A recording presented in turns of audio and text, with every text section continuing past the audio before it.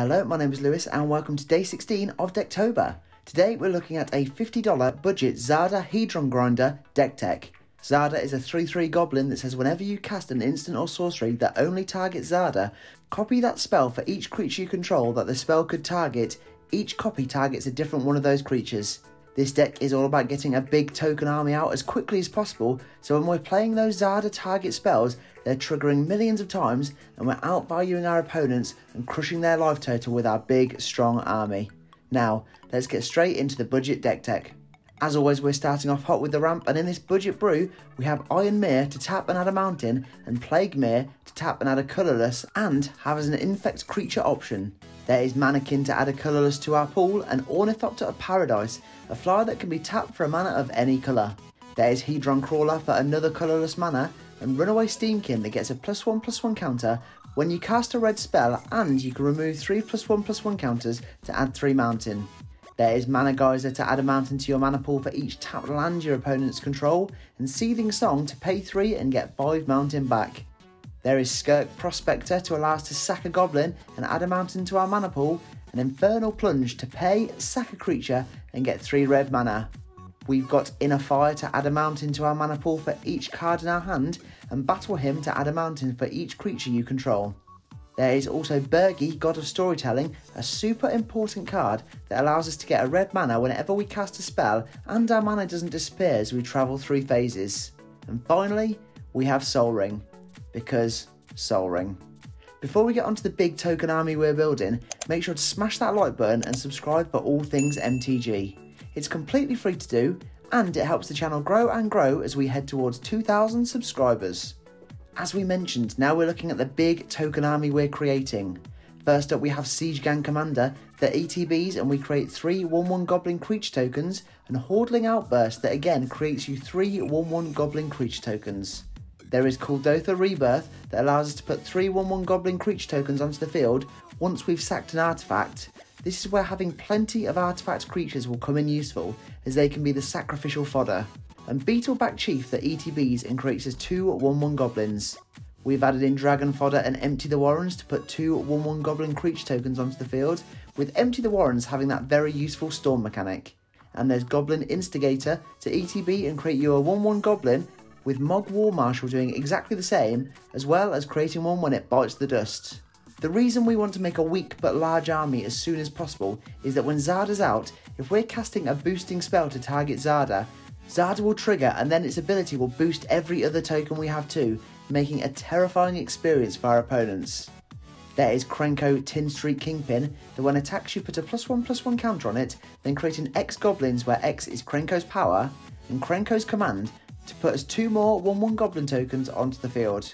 We have Goblin Chirurgeon to sack a goblin and regenerate target creature, and Young Pyromancer that says whenever we cast an instant or sorcery, create a 1-1 elemental creature token onto the field. Finally, there's Forbidden Friendship to create a 1-1 Dino and a 1-1 Human, and Twin Flame to choose any number of target creatures you control, putting a token of each of these targeted creatures onto the field with haste, and their sacrifice at the beginning of the next end step.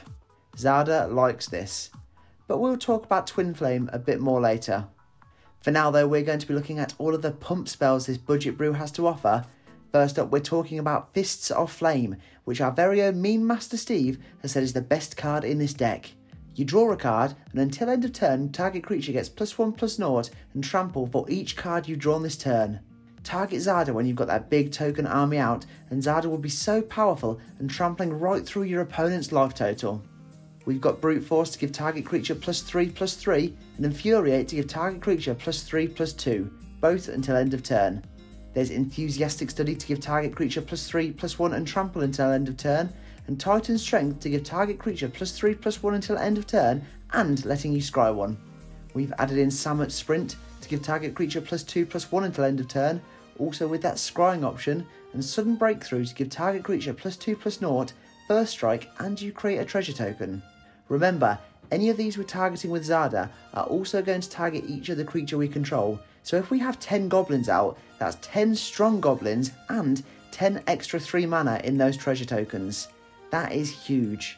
We've got Traitorous Greed to gain control of target creature until end of turn and tapping it and giving it haste, again with an insane 2 mana adding option.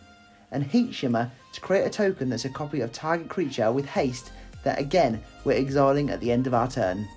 This being another card we'll speak a bit more about later.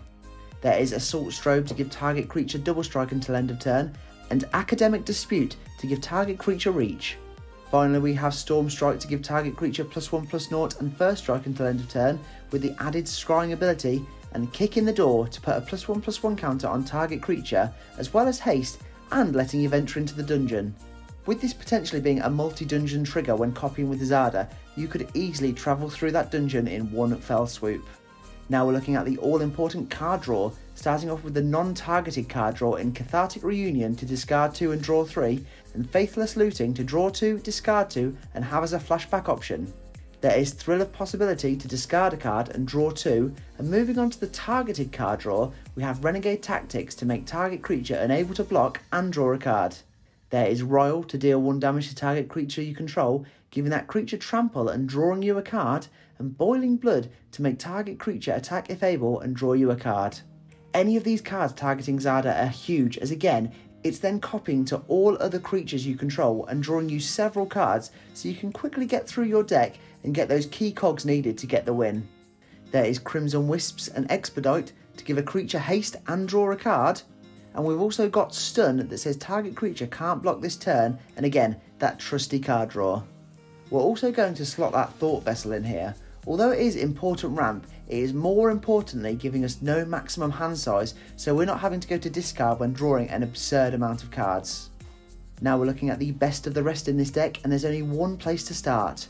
First, there is Budget Breaker Imperial Recruiter the ETBs, and you search for a creature with power 2 or less, putting it into your hand. And the card you want to search for is Stormkiln Artist. This Dwarf Shaman says whenever you cast or copy an instant or sorcery spell, create a treasure token. With all of the spells that we've seen Zada could be copying, this will end up being a card that will be constantly generating a positive mana for you and one that you can win the game on value alone. Next is Krark the Thumbless that says you flip a coin whenever you cast an instant or sorcery spell. If you lose, then return that spell to your hand, but if you win, copy the spell and you may choose new targets for that spell. And Rograkh a Naught 1 with First Strike, Menace and Trample. There is Kari Zev's Expertise, another key card save for the best of the rest section, as you can give target creature haste and play a card with mana value 2 or less from your hand for free. And if you've got that full hand and have targeted Zada, then you could be playing plenty of those cheap spells for absolutely nothing. That is filthy stuff. There is Dualcaster Mage with Flash that ETBs and you may copy target instant or sorcery card, a card that is known for the ability to go infinite with the previously mentioned Heat Shimmer or Twin Flame to keep copying in a loop and create that infinite army. And there is Mizzium Mortars to deal 4 damage to target creature you don't control with that overload option to deal damage to all creatures you don't control. We have Burning Prophet that will beef up whenever you cast a non-creature spell and then scry one, and Ricochet Trap to change the target of target spell with a single target. That's a lot of target.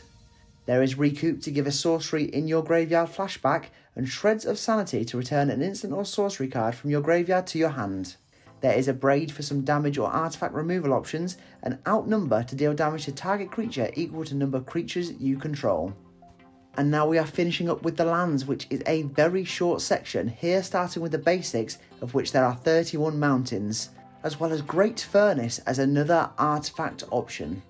There is Dwarven Mine that has a chance to create you a 1-1 dwarf token. And finally, we have Den of the Bugbear that can become a 3-2 goblin that attacks and creates you yet another goblin. Zada is an incredible mono red commander option and one of the more deadly red commanders in the game, with an engine that if you don't keep under control early, it'll be something that is near impossible to stop. Make sure to check out Decktober Day 17 tomorrow, where we'll be looking at another mono coloured commander. But what colour? Make sure to check in and find out. There we have it, that is the $50 Zada Budget Deck Tech. Thanks for watching and make sure to smash that like button and subscribe for all things MTG. Check out our link tree in the description below for all of our social media and affiliate links. For now though, I'm all tapped out, so I'll see you in the next video.